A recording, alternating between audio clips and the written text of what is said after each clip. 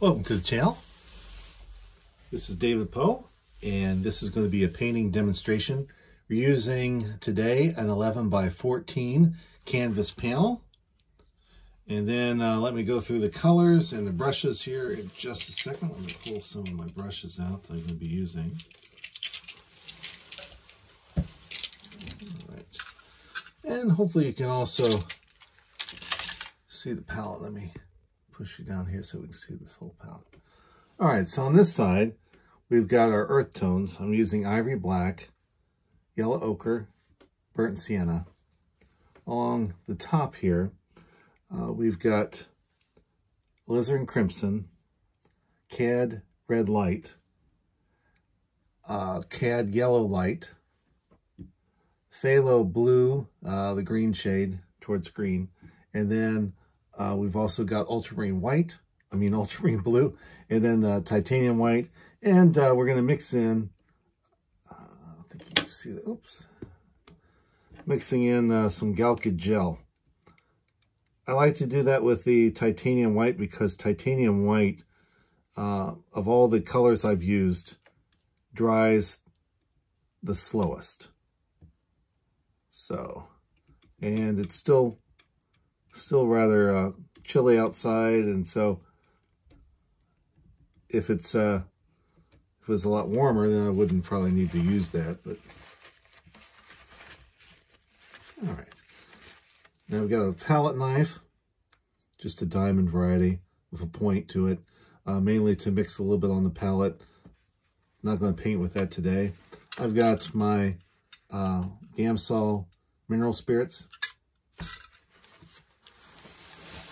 I like to use Viva towels to clean up, sometimes to even uh, work on the canvas itself and manipulating some of the colors.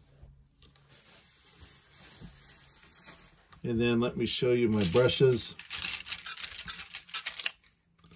I'm not I'm really not sure which brushes I'm going to use for this, so let me just go over a few. I've, I've recently got these from uh, Rosemary and Company. This is a company out of England. They don't advertise, and that's one of the reasons they can uh, sell these at a reasonable price. But if you look on almost any artist website, you will hear people commenting on the fact that they believe that uh, Rosemary Company brushes are about the best you can you can actually find and buy, and I would agree with that. So I've got an ivory short flat, number six. I've got uh, an ivory dagger. This is a half inch. These are really interesting. They can get some unique shapes, especially for landscape painting. I, I like their unpredictability. Here's another one of those. This is a 3 8 ivory dagger. I've got a, a zero. Uh, this is a pointed round. I don't know if I'll be using that today. This is another interesting uh, brush. This is an Egbert number six. You can get some different kinds of marks with this as well. So different shape. It's always nice to, to use some different shape brushes. This is a quarter inch ivory sword. I've got an ivory rigger. This is number two. Here's another uh, ivory dagger, quarter inch. I've got a number two ivory Egbert, smaller brush. And I've got a half inch ivory sword. And another rigger. This is a number four. So you'll be seeing me change out different ones at different points in time. All right. Oh, I should show you my photo reference so that you can see what we'll be painting today. So it's a simple, whoops, simple scene. There's a road, leads back uh, through some trees. So that's not going to be as important with this style of painting. All right, let me push this all the way up so maybe you can see that a little bit better. You should be able to see this mixing area here and still be seeing the panel. So that's this will be the place where you can see me actually mixing. I know that a lot of folks like to do that, to watch the mixing of the colors. Um, if you like this channel, I do want to take this opportunity before we get started today to uh, please uh, subscribe, if you wouldn't mind, and then give us a thumbs up if you have comments or questions, uh, please uh, put those below. I always do respond, uh, usually within about 24 hours of, uh, of you posting something. I, I, check it quite often to, to make sure that I can respond to you. So uh, I'll keep that in mind. And try to think if there's anything else I wanted to get started and tell you about today. Um, today we're going to really focus, at least I'm, I'm thinking about this, this picture, my photo reference, and I want to use some bold color, even though that paint, that picture does not, let me, let me show that again to you. So, oops. All right. Obviously, there's not a lot of color here. There's a lot of green. So what do we do with something like this? Well, sometimes you've got to emphasize what is there. So I'm going to be working on some contrast in, in the green shade. So we got darker greens here. So we're going to accentuate those. We've got some lighter greens. So we're going to accentuate those so we, we can use the contrast of the greens. This, this picture was taken uh, during the summer. And then over here, we got this we got this interesting brownish, bluish, this is a little bit colder color uh, that we might be able to utilize. We do have the yellow on the road. We might actually uh, want to emphasize this. And of course, a little bit lighter shades, uh, more your purples and blues. When I say cooler, uh, we're talking about those, those types of hues, right? The blue hues are colder. And so we're picking up some of that with this dappled light on the road. So that might be an interesting thing to bring. We also got some of these trees. And so uh, we can utilize some of those trees. Some of those trees are kind of what I would say are, are cool color. And uh, this one over here is actually uh, warmer. And of course, we are free to invent some things too, if we need to, to make the painting work, right? we're not a slave to this photograph. Uh, there's nothing really that interesting about this photograph. Uh, what will hopefully be interesting is the painting that we base on this photograph, right? There's a big difference there. All right, so keep those in mind as we're painting today. All right, gonna put this back up here. I've got a little rack. And by the way, I, I think that uh, if you have a small studio like mine, uh, get a nice stand an iPad or an iMac, uh, something like that works very good uh, for using uh, photo references and then painting off of them. Um, in this small studio, I've got a, a 12 by 16 palette here that I purchased at a local art store for uh, not much money. And this is the easiest way to clean up is to, to use a glass palette, especially in a home studio, by the way. This little easel is just a desktop easel. I think it cost me $12. So all total, this palette and this setup, you know, you're talking under $50 for that. Of course, the paints are going to cost you the money, all right? So if you're very new to, uh, to painting, another uh, big tip, use professional grade paints. All these colors that I've shown you on the palette today happen to be from one brand. Uh, you have to kind of play around with it until you figure out which brands.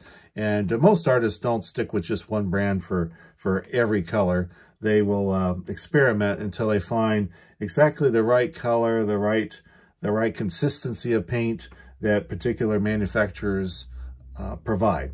For example, one thing I will tell you about, uh, I've been using Utrecht to, to really uh, delve into whether Utrecht's going to be my brand for which colors and so forth. One thing I do not like about the, the this uh, Utrecht brand and I don't know if it's just this brand or if I just got a bad lot, but it seems like a lot of the colors are doing it.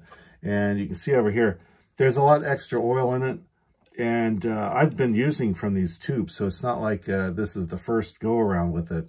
And I'm still getting a lot of oil that's kind of not mixed in with the pigment. And so it, it kind of creates a mess. And uh, I don't like that. I, I would like it to be thicker in consistency. So I may be actually changing my mind about using Utrecht uh, colors. Uh, but at the same time I say that, Utrecht is one of the most affordable paint companies that you can use. Uh, sold by Blick's nationally here in the United States. So anyway, you might want to think about. The other brand that I'm actually investigating is Lukas. This is uh, provided, it's a German company, I believe. They're 1862 professional grade. And it's only sold here in the States by uh, Jerry's Artorama. So, and what I've liked about it is I'm not seeing this kind of oil spill out. It's in the same price range as Utrecht. Many of the bigger tubes also, a little bit nicer, is that they come in 200 milliliter instead of 150 like Utrecht. So you get a lot of paint, a lot of pigment, and I've been pretty happy with the, the uh, consistency of the paint. So, but, you know, I bought all this Utrecht, and by gosh, I'm going to use it. As I'm not going to waste the money trying to, to switch everything out at this point. All right, so now we're going to get started with the actual painting. And I'm going to pick, I use one of these swords today to do the sketch. Or maybe I should, you know what? I don't feel like doing that now. I'm going to get a flat brush. Got a bunch other brushes here. Here we go. This is a, a number two Utrecht brush, a 209. These, by the way, are um, a low budget, good brush, hog's bristle, uh, flats. And uh, this is number two, a good brush for, for sketching in. So I'm going to do a little sketch. move this up so you can, oh, let's see. Why are you not able to see it? Oh, okay, there we go. All right, so I'm going to take a little burnt sienna and make a pool of this right there so you can see it. I'm dipping into the Gamsol. I want this to be the consistency of ink. Okay, so we're going to basically be doing a little bit of an ink drawing to get us started. All right. First, we it might be a good idea to put our horizon line in. Now, in the photo reference, it's kind of hard to see where that horizon line is, but it's basically where the road has disappeared. So, and we're going to say that's about a third of this painting. So I'm going to go ahead and I guess you could use a ruler if you wanted to in the studio, but I kind of like it to uh, to just do it uh, freehand, even if it's not perfectly straight. All right, and now we got this road element that I want to get in. And the road's not right center. Uh, it is off to this side. And that's that's a good thing. We don't want something right in the center of the, of the painting. It kind of comes out like this. Coming this way.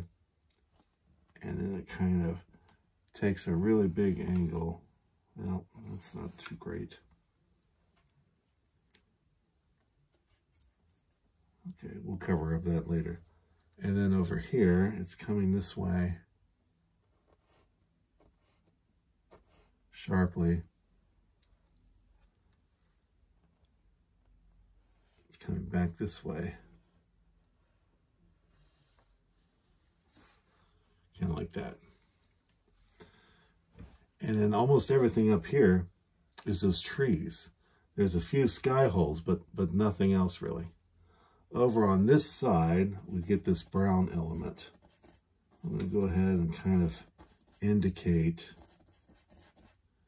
where that comes in. Over here, we're going to have a major tree. So I'm just going to mark it right now. Actually, that's probably a little too close. I don't want the frame. The frame's going to overlap, you know. So uh, we got to be careful of that. You don't want to ever paint an element too close to the sides of your painting, right? Remember that part of that could be covered up by your frame. So I'm just going to move that over a little bit. I'm just going to make this a little thicker to kind of remember that. And as I'm doing it really thin, I can come back in and um, do some things with that. Then we've got, there's certainly uh, some tree forms over here. Kind of a bigger tree. Just putting a kind of an area where that's going to be coming in. Uh, actually, I didn't put that right. It should be should be closer. Well, I've got this all skewed over here. Um, more land than I probably should have put. So what can I do about that? Do I want to make it come out more this way? I think so. So what I can do is we're still in the sketch mode. I can just take and, and sketch it all the way over there. This will be more my brown area. of reference and just kind of highlighting it over here. And then up from here is where that tree is going.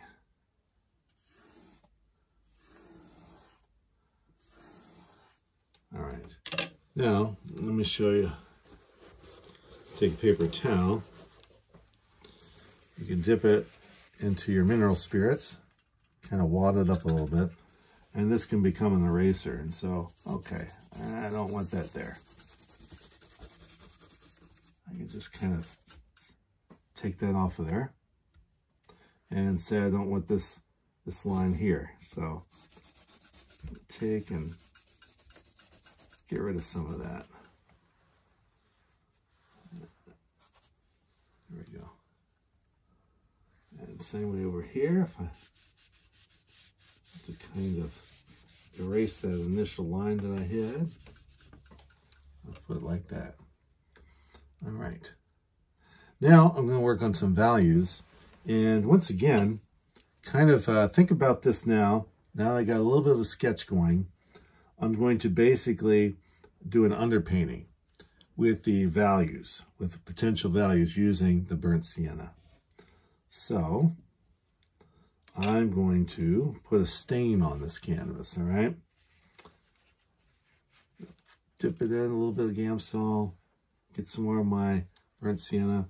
And now I'm going to kind of fill in this whole area here with a very light stain.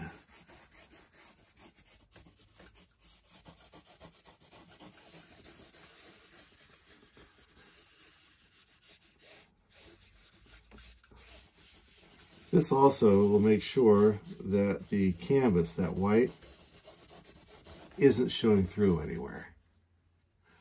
There's some debate. Some artists will actually just, will, will want that light color to kind of come through. And uh, you certainly can, can do that.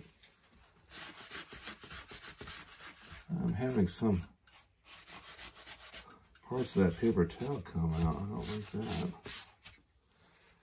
Okay. Now I'm going to dip it in a little bit more.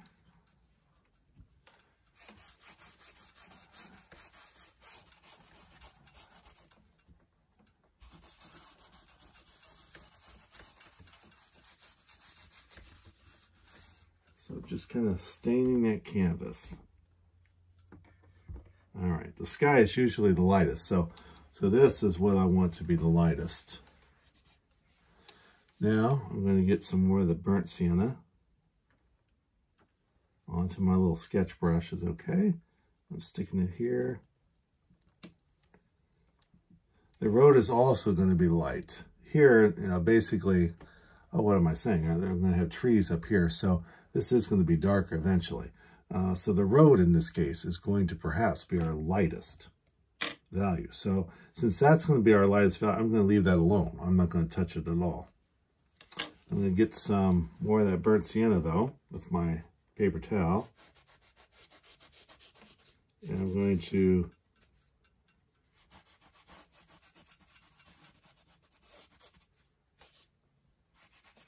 stain the canvas here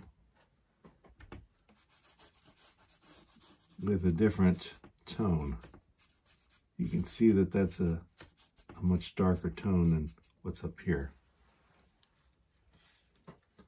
All right. So now I can judge the values a little bit more. So this is my lightest. This actually should be my second lightest. So I got to go back up here and make this darker.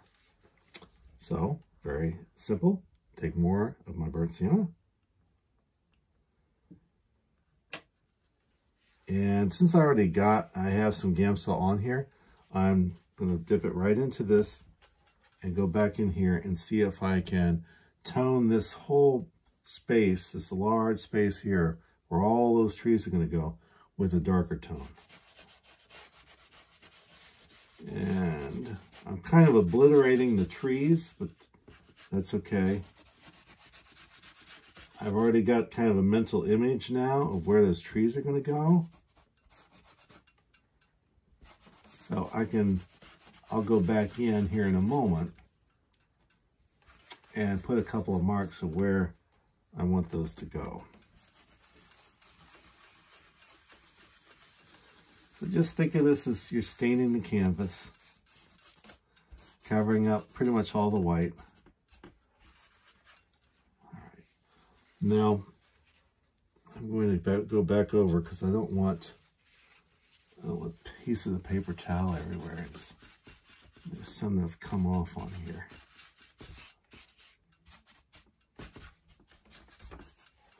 All right. There we go. And now, take a piece of towel. And since I want this, this grassy area to be a little bit lighter, see how that that's not quite uh, distinguishable? We can take a little bit more Gamsol. That's how you would do it. So once again, we're using it as an eraser. And we're going to kind of take some of that color off of here.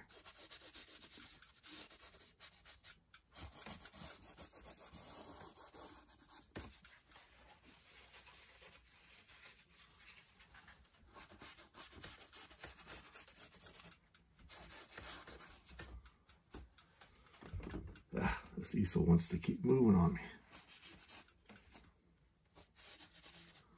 All right. So there we go.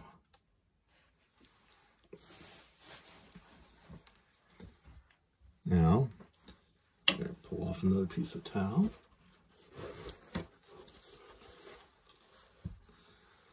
And notice too, I'm working on all areas at the same time. Now I'm going to let this set up, this underpainting. It takes a little bit longer for Gamsol to actually evaporate than, say, turpentine. Of course, you don't want to be using turpentine in any kind of a small studio. Um, and even outdoors, I, I don't know that I would recommend doing that. All right, and, and you probably shouldn't eat or drink during painting, but I, I'm drinking anyway. All right, so now we're going to use on our palette, I'm going to clean this spot here. I'm going to start mixing some greens. So, I know I'm going to need a dark green. I'm going to take a little bit of cad yellow light, make a pool there. I've got two blues I can use. I could also use the ivory black, but I don't really want to use ivory black yet.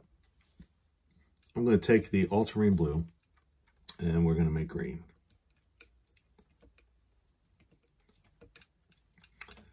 Now this is a pretty good middle green to start with. And I can, uh, I can actually mix that like that and kind of hold it up to my monitor to see. Here, let me show you that. So I can hold it up to the monitor and kind of tell, is that similar to some of it or not? Okay.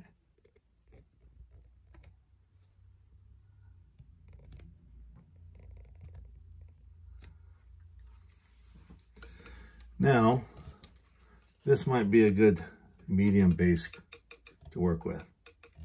I'm going to take some more cad yellow light and I'm going to make it over on this side. Just get a little bit of that green. And so this is a much lighter shade. This is more like what I would say is kind of the highlight green. Down this side, I'm going to go darker. So I'm going to take the ultramarine blue a little bit. Add some of that green into it. And now I've got a much darker green. See that? There you go. Much darker green there.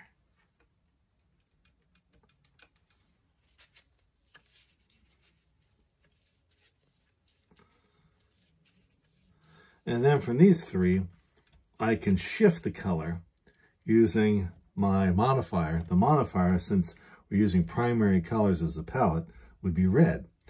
Red will, um, will dull the color down so it's not as bright as these. So if I want to dull it down, I can use the red. I can use uh, Cad Red Light or I could use Alizarin Crimson. Since um, this is a warmer color, I would probably go with the Alizarin Crimson. Okay. Now I'm going to go ahead, and some people like to do this, is that you can almost mix all the colors that you think you're going to be using to start with before you ever put um, a stroke down. So we got that road to deal with, which is much colder. So we're going to have to judge. We could make a gray, of course, with the ivory black, but it's usually I would recommend that ivory black be used very sparingly and most often in mixtures in which you're trying to desaturate a color. So that leaves us with, uh, primarily we want to go for blue, uh, a bluish purple. So we're going to take a little bit of the titanium white and we're going to, let's see if we can see. Hmm. I wonder why that's the case. Let's see if I can show you this a little bit better. Okay, here, here's where we need to, all right, we'll put this down here so you can see it. All right, now, I'm going to put just a little bit of the phthalo blue because it's a colder blue. Put that in the titanium white.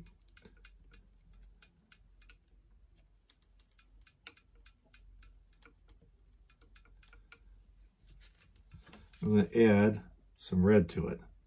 I'm going to go ahead because the, the CAD red light is actually cooler red. So I'm going to put just a little bit and see how that grays down that blue.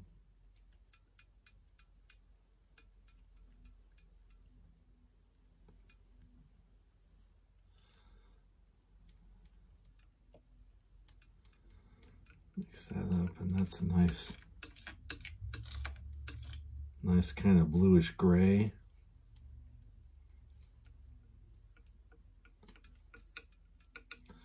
And same thing on this side, taking more of the titanium white, a little bit of that color I just mixed, so that this tonal value is colder, and it's also a, what we might call a, lighter color, right? A, right, a lighter hue. All right. Now on this side, take a little bit more of that. Add a little bit of the phthalo blue into that mixture to bring out its bluish nature, bluish, bluish purple.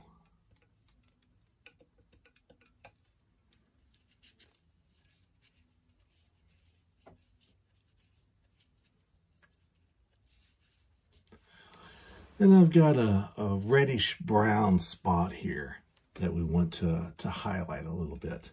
Um, so uh, how do we how do we incorporate that? Is it warm? Is it cool? What's it going to be like? I think it's it's actually a cooler color, and it's going to be more of a purple. So we're going to go with, um, hmm, I think I want to warm it up. So I'm going to use alizarin crimson. I'm going to try that first. Let's see if you can see where I'm putting it. Ah, I'm having trouble. There we go. Okay, so alizarin crimson's there. I'm going to mix that with ultramarine blue to give us a dark purple. I'm going to add some of the titanium white.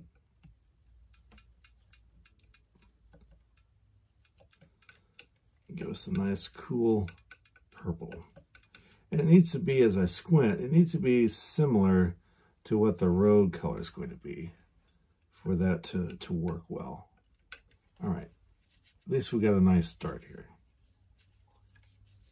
And if I do the, the yellow lines on the road, I might just use almost straight CAD yellow light there. Get rid of my piece of towel. Let's get another piece of towel ready to go. So, and now by now, since I've spent this time mixing, now the Gamsol has been allowed to dry some, which is also crucial, I think. All right, now I'm going to get a different brush here. I'm going to, I think I'll use this. This is the, um, the half inch ivory dagger. So we're just kind of experimenting, you know. I don't know what's going to work out. And probably if you're painting along or you're in your own practice, you don't know exactly what's going to, to happen with some of this. We'll start with the darker greens that I'm seeing. And I'm going to use this, this pile of color here. So let me get my, get my paint on this brush. And I noticed that near the, uh, near where the road ends, there is a dark. So I can't paint a tree, but I can paint objects, uh, shapes. And so I'm focusing on sh the shape here that I see. And by painting it with this, and by holding at the end, it allows me to not be so detailed. I, I can't, I can't force this. All right, now I'm going to take my time, get some more of that green. And I see that um, this green is kind of connected. It goes this way. And then we've got some greens in this area.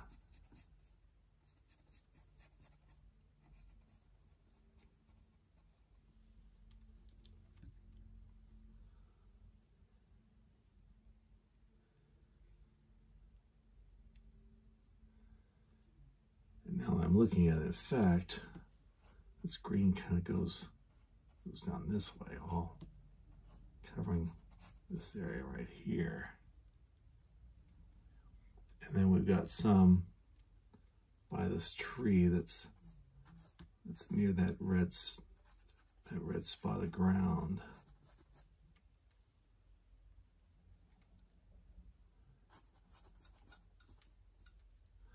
We got some some darker greens going up this tree.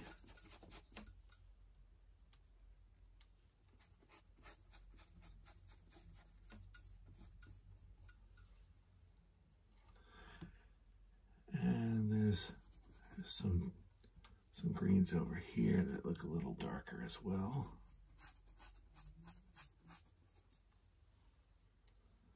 And up here at the top, there's some green.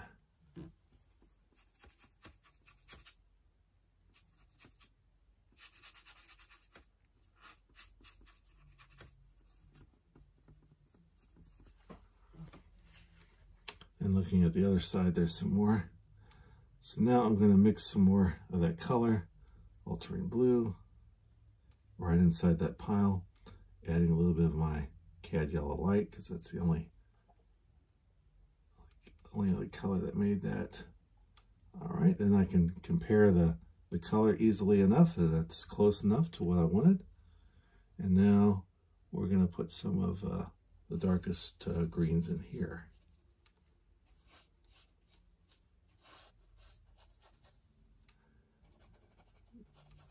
It's best to connect the greens, the darks. Got some darks up here. Just looking at the edge abstract shapes here.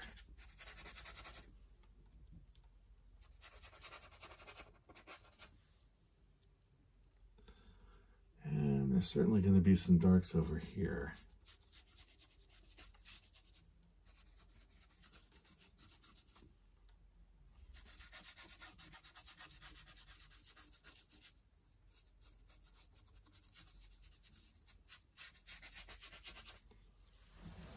Another way to think about it is we're basically still doing an underpainting, right? With the shapes. And this will become a little bit more clear as we continue to work on it. All right. Checking over here, there's still some darks up in this area.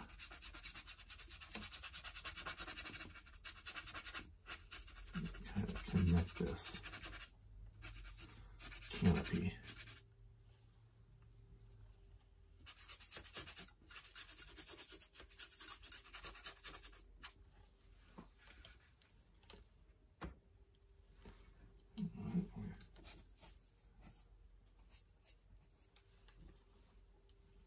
fan some of this out. I don't want it to look too mechanical.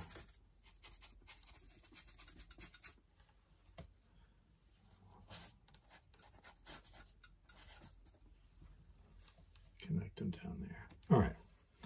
So now, clean that brush off just a little bit with my towel.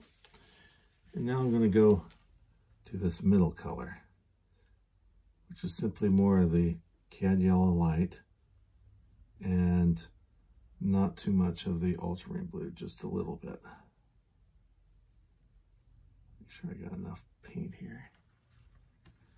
All right. And so it really shows up in this area.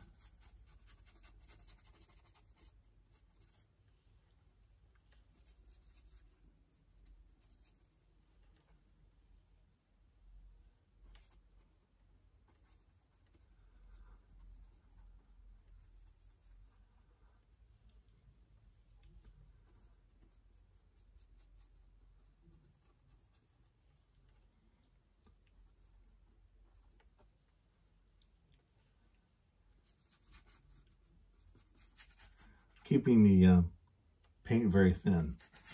So this way I can come back over top of it.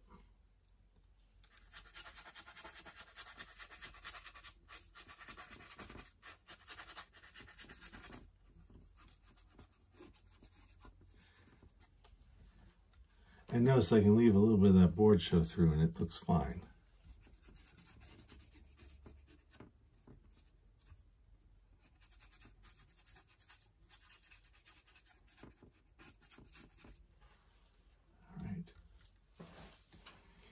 Need to make a little bit more of so a little bit more cad yellow light and my ultramarine blue. And because I'm mixing in the same spot, it's easy for me to judge, okay, did I hit that or not? And I can vary that a little bit. It doesn't have to be perfectly the same shade of green. All right. And I'm seeing a lot of this color right in, in, in this area too, so let me go in here.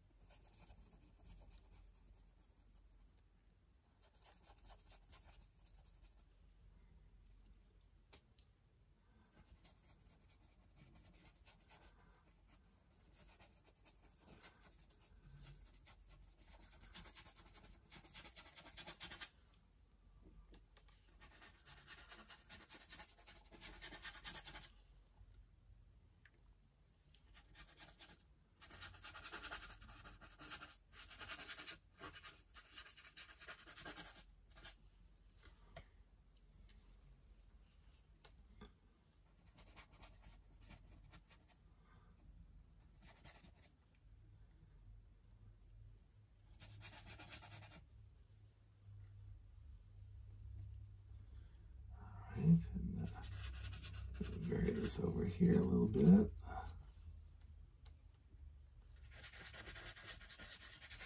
Just concentrating on those background colors at this point.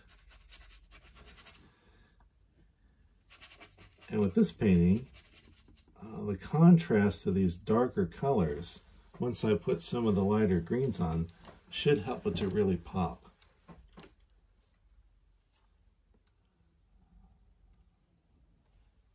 And just trying to see.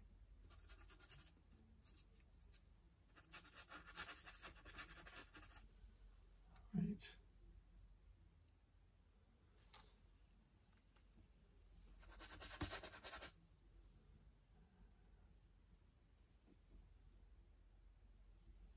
Remixing that color.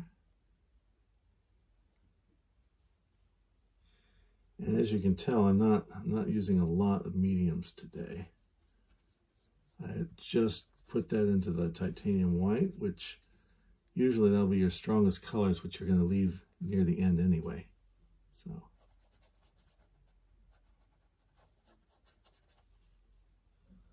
All right.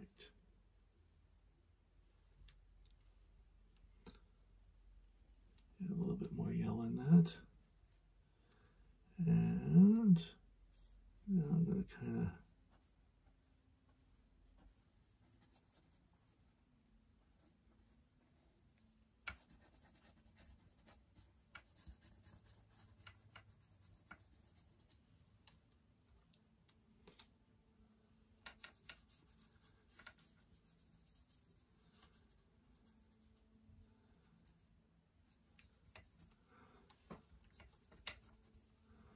that's one of the nice things about these daggers. Like I said, I can't, I don't have a lot of control over this. So it's giving me some unique shapes as I'm laying in this color. So I can't be very precise, which is all right.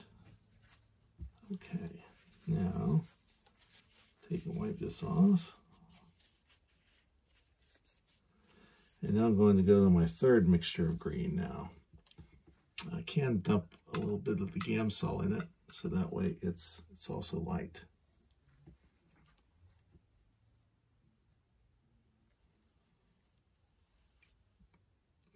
So I see a little bit of it there.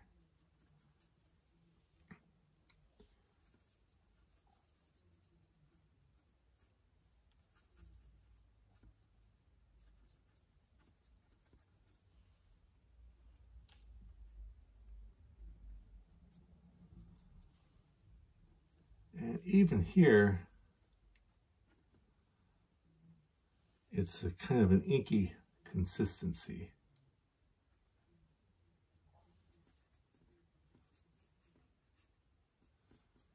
And I'm kind of moving the brush around, hoping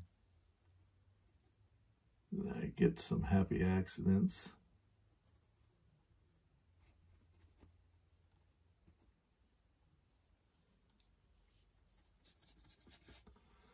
And there's this area here where I really want it to be quite light.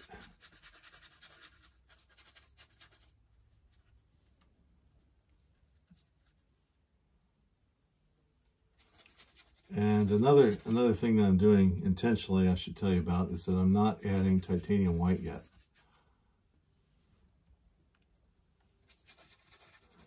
Titanium white can be a problem if you add it too soon. It gets into everything and it's going to cool the painting down quite a bit.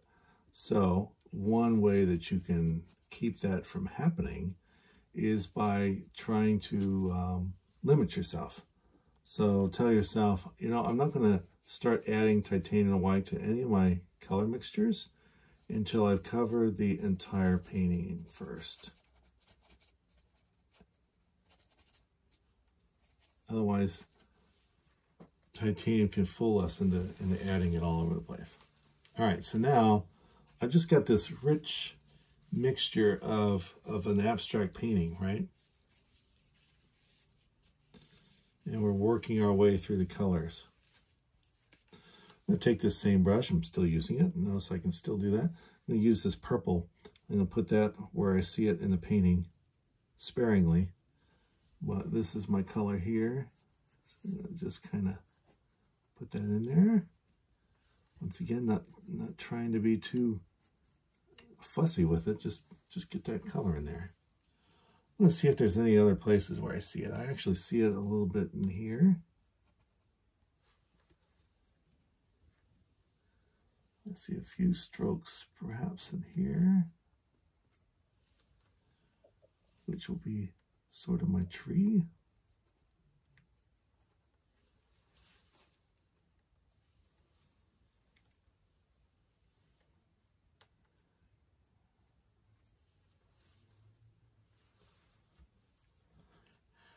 And over on this side, it's going to be on that tree here. So we're going to lay in a little bit of that first.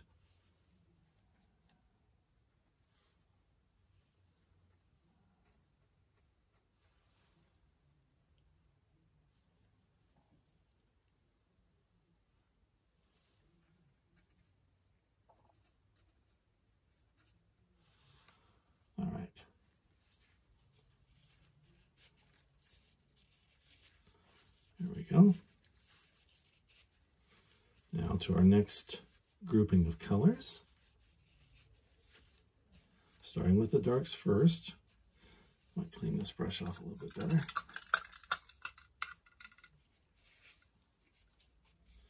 We're going to go into our darkest, darkest bluish mix. A little bit more. It's an inky consistency again. And of course, it's darker closer to us where we see some shadows. So I'm going to try to delay that in with this.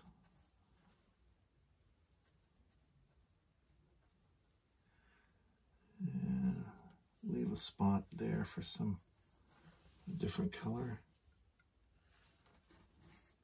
Most of this is darker over there.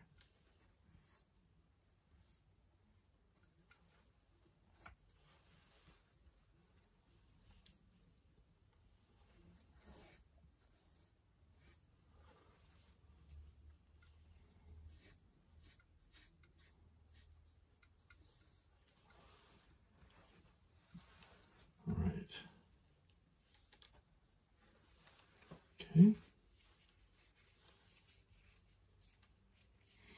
Clean the brush off again.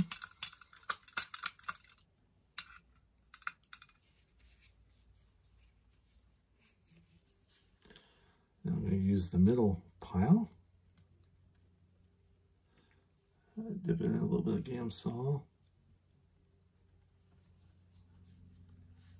And I see that there, there.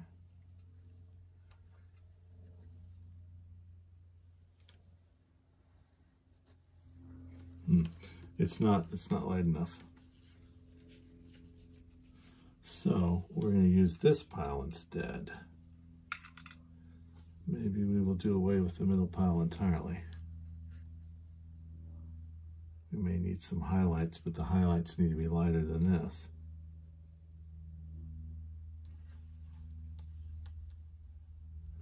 Once again, I can't be fussy with this brush.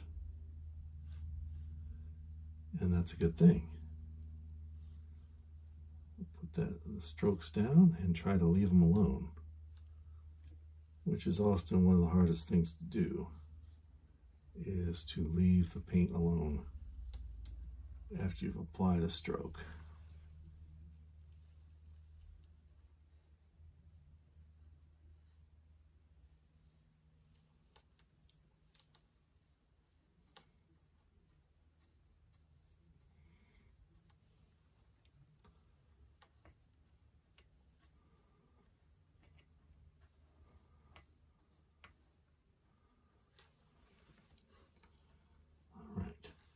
Now, there are actually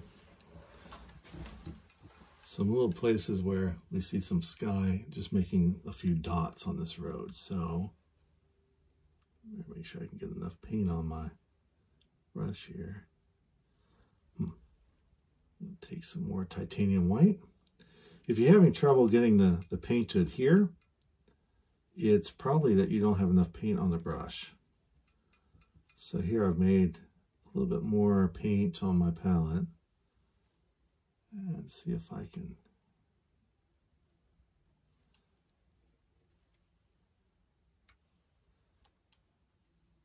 and that represents some of those areas where the light is hitting the road.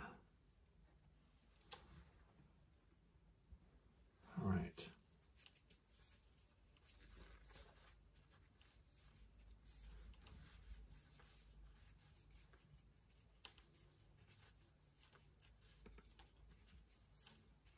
So now the whole canvas panel is actually covered. And this is a good time to clean off this whole palette. This gives us time to think about what we're doing.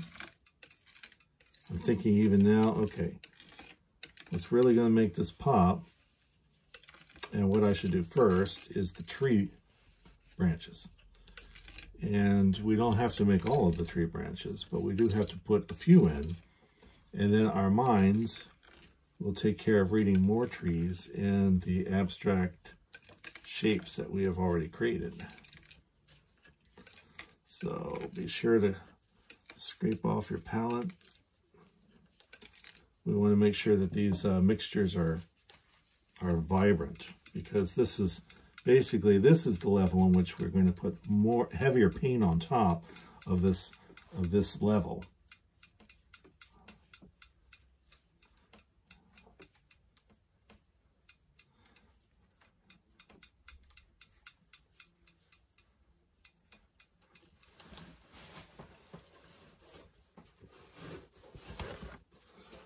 reminder, if you're enjoying this content, to please uh, subscribe. Let me show you how we're doing with the reference uh, photo.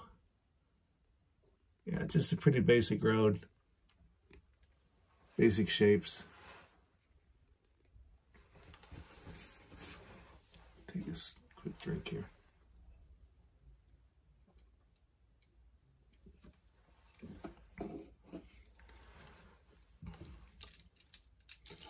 Now I'm going to switch. I'm going to use a little bit smaller dagger for this. This is a 3 8 uh, ivory dagger. And we're going to make our biggest, uh, our tree branches. Of course, we got this one already sketched in there already, at least sort of the, the shape of it. And this is pretty vague in the um, photo reference, and I might want to do that and leave it alone. Over here, I want more of a uh, structure, but I don't want it to be the focal point, so I have to be very careful about that. All right, so I'm going to use ivory black. Yay, ivory black. Put it here, mix it up a little bit. Just a little bit, just a just a touch of the Gamsol to, to make it flow a little bit. And this is where we got to show some confidence in our strokes.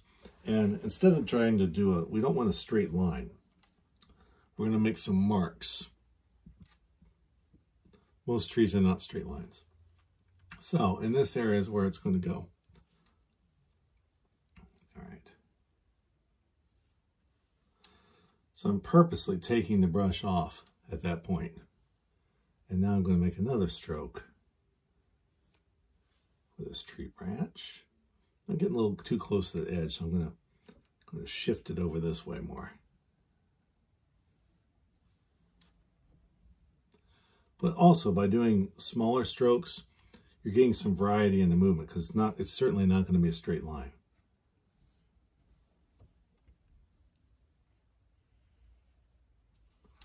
All right, we're going to stop right there.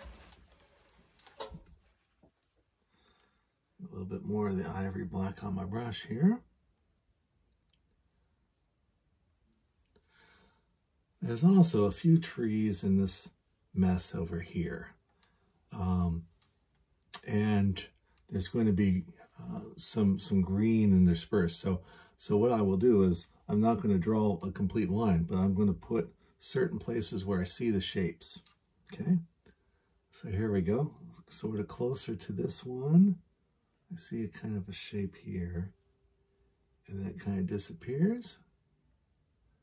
And picks back up there. And back up there. All right. And right next to it, we got a third tree. And this one, because it's a little farther back, we see a little bit more of it. Okay. All right, to stop there for a second. And over on this section, there are some trees that are that are going in this direction. They're slanting over this road and coming into this area here that I had already painted. So now we're going to try to, to get that in. And uh, this needs to be a little bit thinner line, so I'm conscious of that. I'm going to put a little bit more Gamsol to make it a little bit weaker. All right.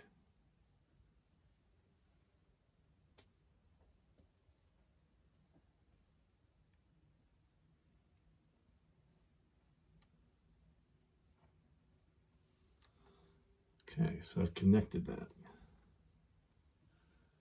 And there's um, there's a couple of them, right? And kind of in the same area. So let's go ahead. I don't want it to be as big, I don't think. So we're going to put that. And we don't need it to be as strong. Three is a good number.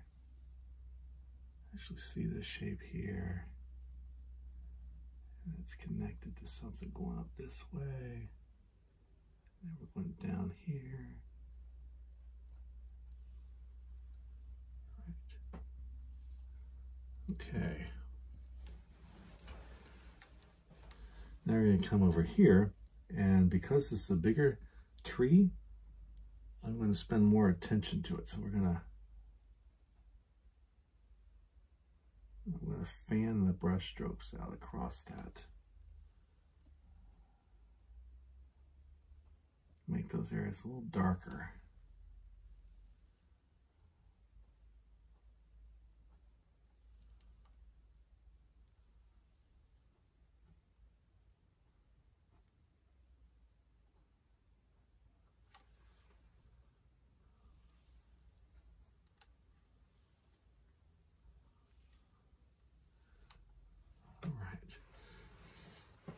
Step back for a second. I see a few, a few little trees back here in the distance, and they need to be smaller. So we're gonna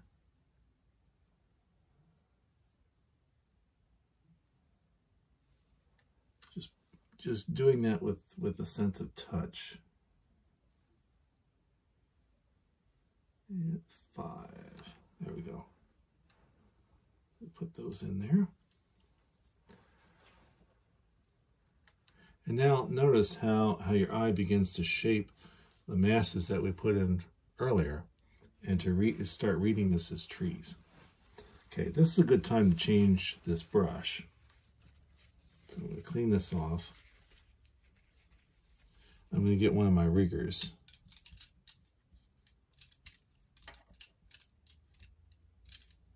Okay, I'm going to go with the small rigger. This is a number two, ivory rigger.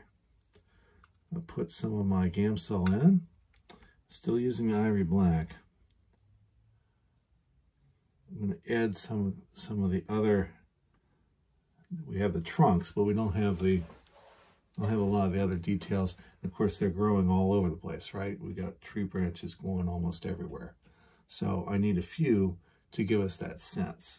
So I'm going to start, and I'm, I'm putting, holding at this end so I can kind of um, uh, provide some unpredictability about these things. And I notice that there's a few from this largest tree kind of going this way and turn the brush a little bit and pull it into that area. Get some more paint on the brush. And do that again. trying to vary the strokes.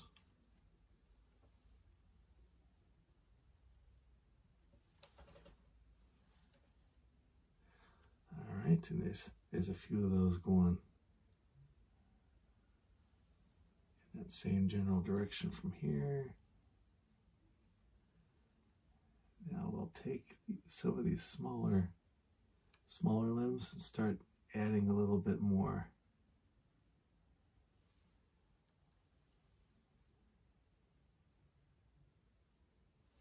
Barely touching it to make these little detail lines.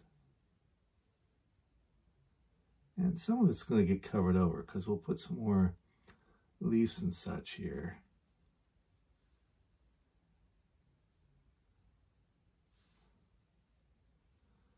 Of course, there's a few strokes coming all the way across these.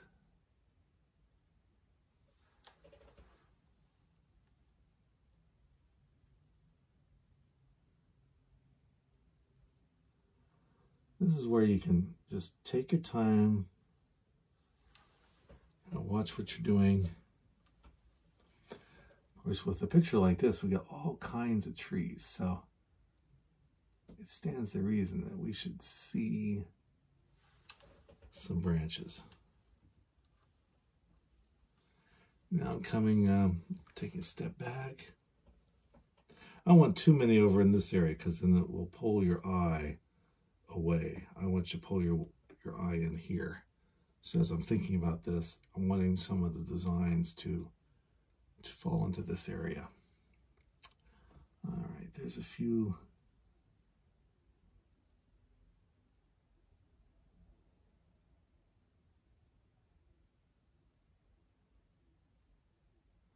to give a sense that we don't, we're not dealing with just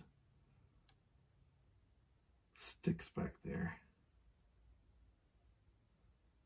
that they are indeed trees.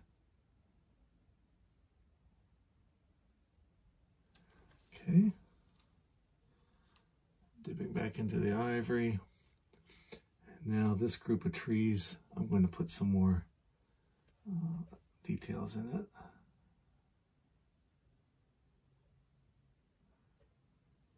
Always good to go completely off the canvas Trees just don't stop for us. This gives us a sense that the, the trees are, are a pretty impressive height.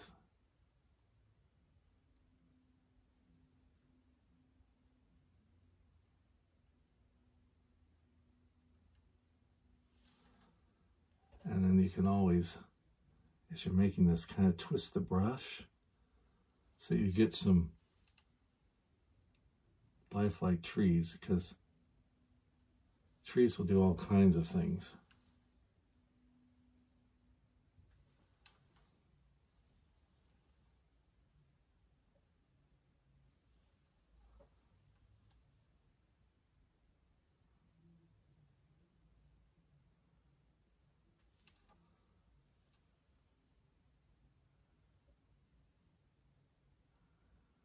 Hopefully you can see that there are places where it's not lining up and that's good because we want some of those trees to look like those leaves are coming over top of some of these branches and not, not covering all of them.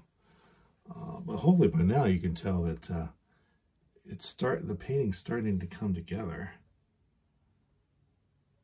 and becoming much more lifelike, which is kind of amazing since there's really not much detail in here.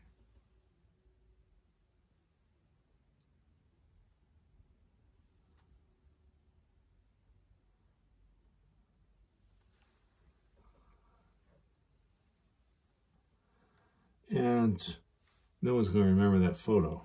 All they're going to see is this. So there is a level in which you can kind of um, turn this into what you want noticing this and then I'm thinking how it's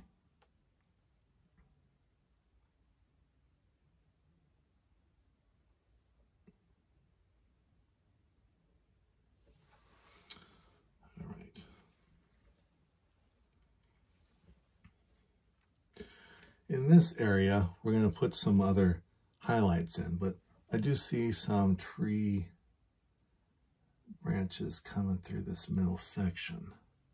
So not a lot right here, but up in this area I see some. So we'll put a few,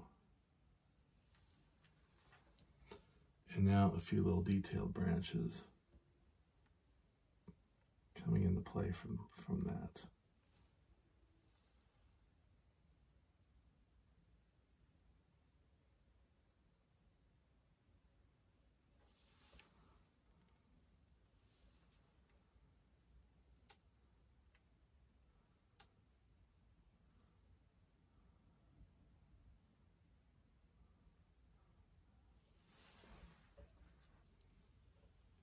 All right.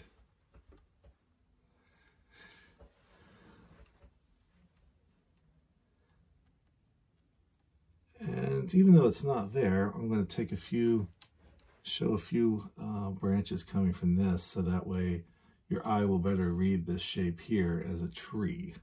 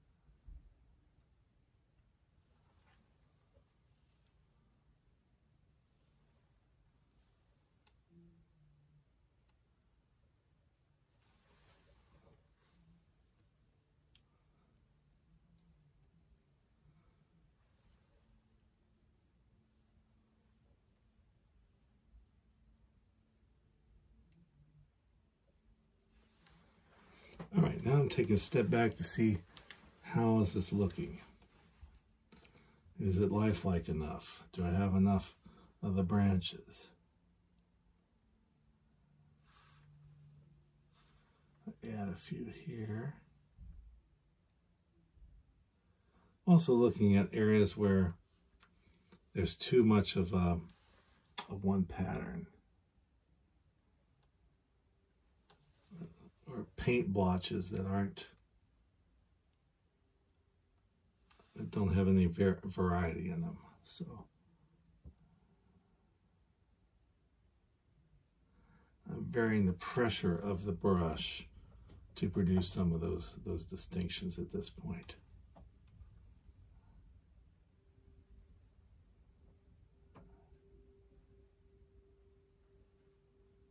Right, uh, right now I'm pretty pleased with all that. Might want to put a few little tweaks or something in this reddish area.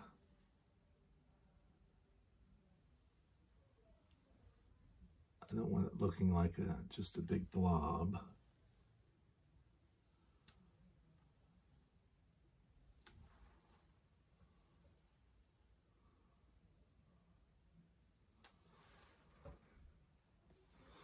But the eye needs a little bit of red with so much green. So that's kind of the method to my madness there. All right.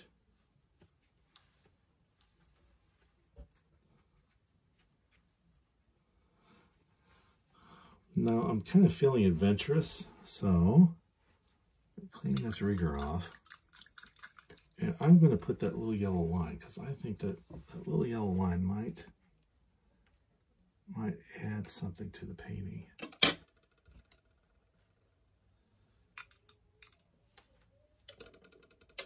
So use that rigger, get some Gamsol on it. And with a very light touch, I'm going to try to suggest the curve shape here.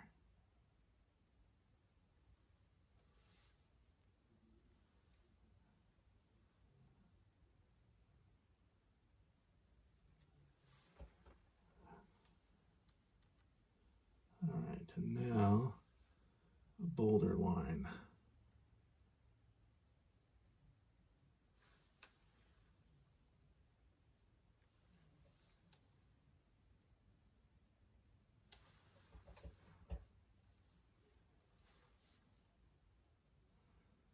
Connect those two.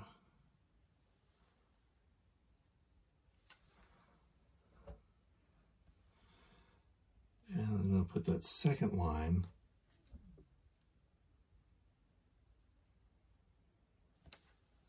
close to the first.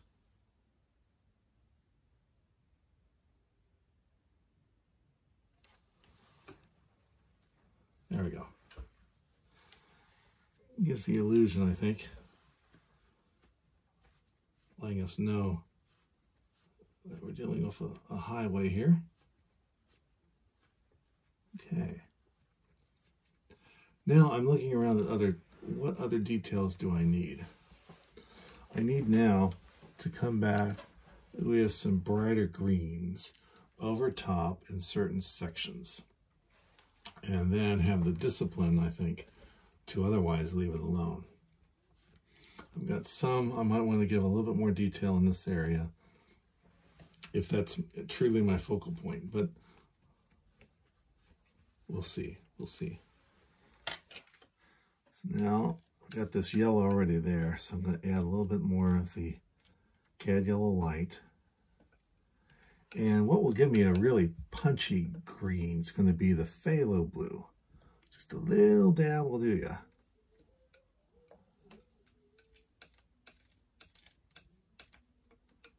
Get that green going add a little bit of titanium white to that mixture.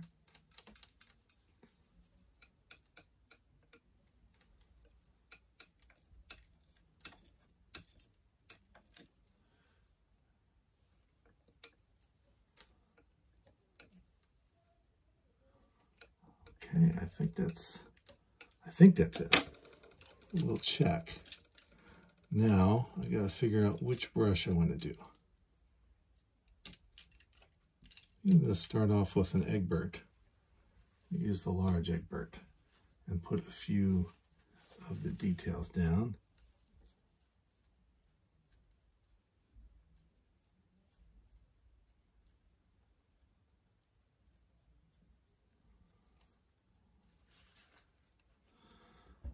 I think I need more paint than that.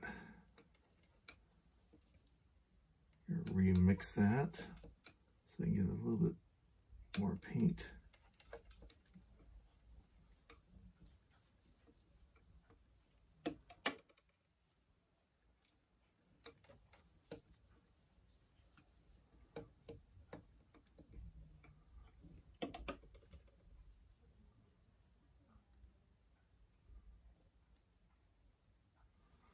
All right.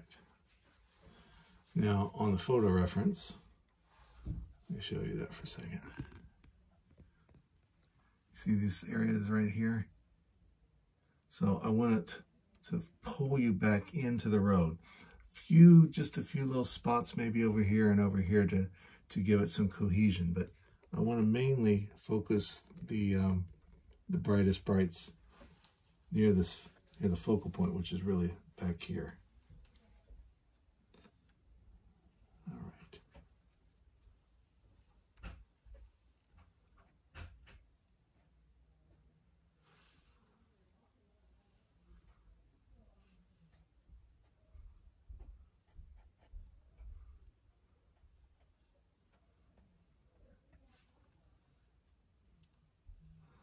Some of those are going across the tree.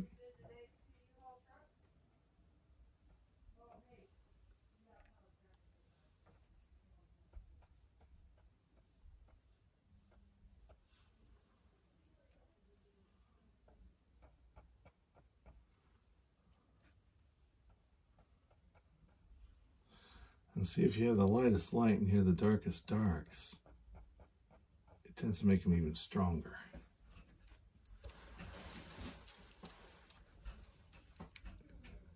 So we got some over here.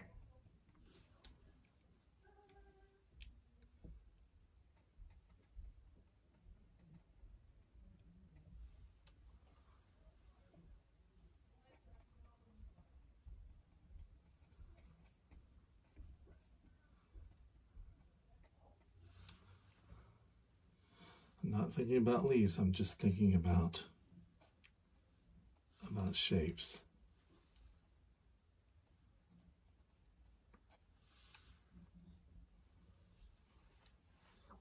Put a little bit more of that titanium white in there.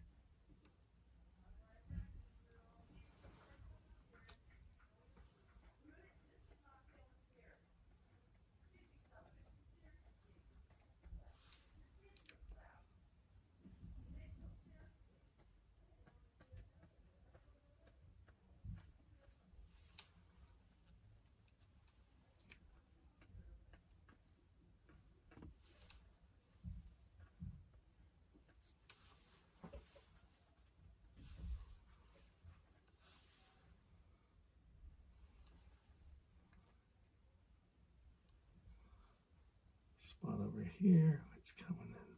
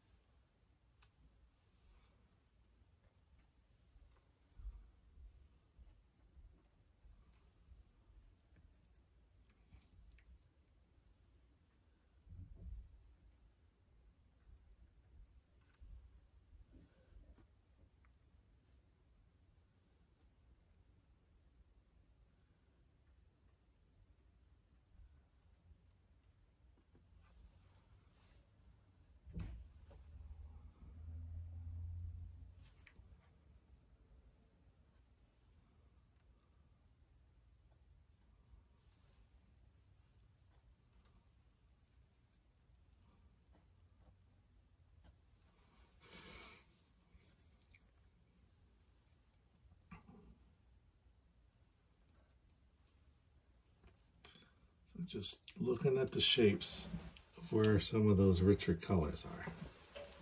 And then I put them there. And then I need to show some restraint now. I don't I don't want to uh, highlight everything.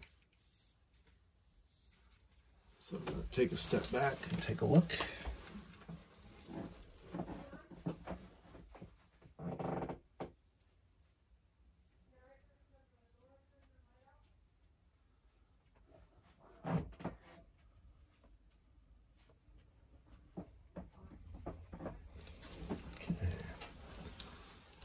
give a little texture to this bigger tree. And I want to introduce another color, an orange. So I'm taking what I got left over from the cad yellow and the cad red light. That's a really bright orange. And knock it down with just a tad of ultramarine blue.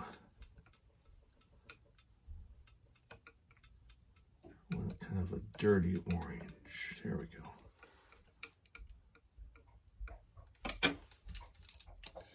Now I'm going to take, this? this is number six uh, short flat. You get that orange on here. I'm going to just a few highlights here on this tree.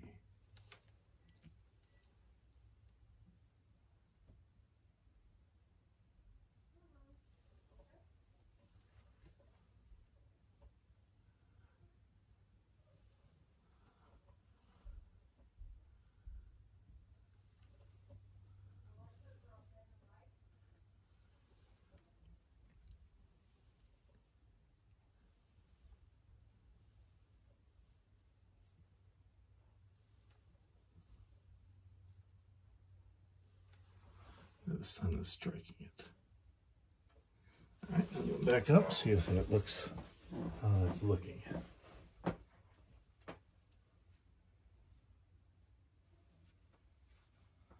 right, that kind of that kind of gives some pop. I think I want to uh, connect a few of these marks a little bit.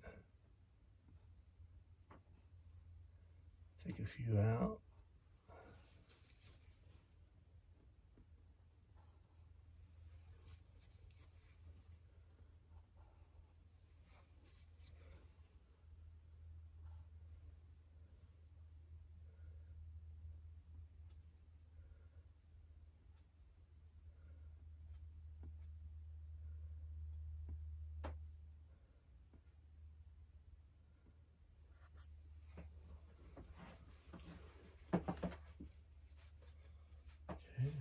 that.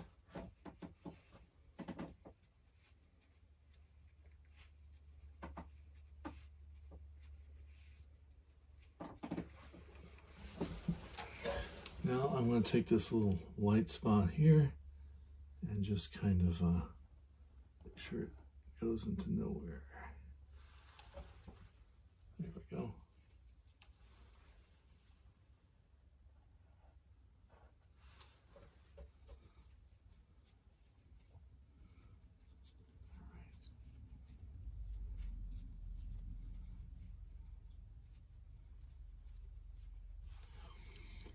Take my rigger brush again.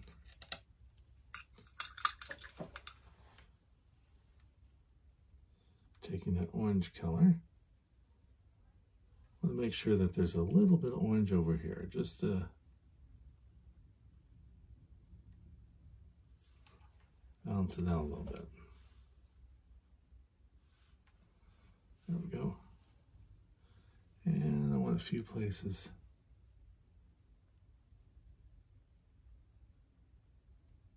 down here.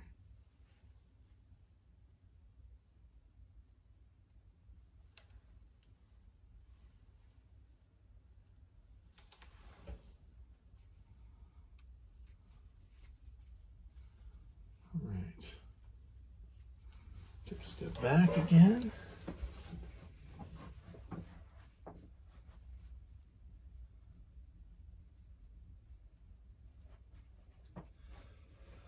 At this point, I think I'm done because I, I could make it different, but I don't think I can actually make it better.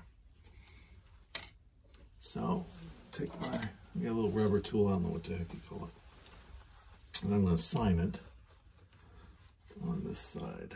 Let's see if I can do this without destroying the daggone painting.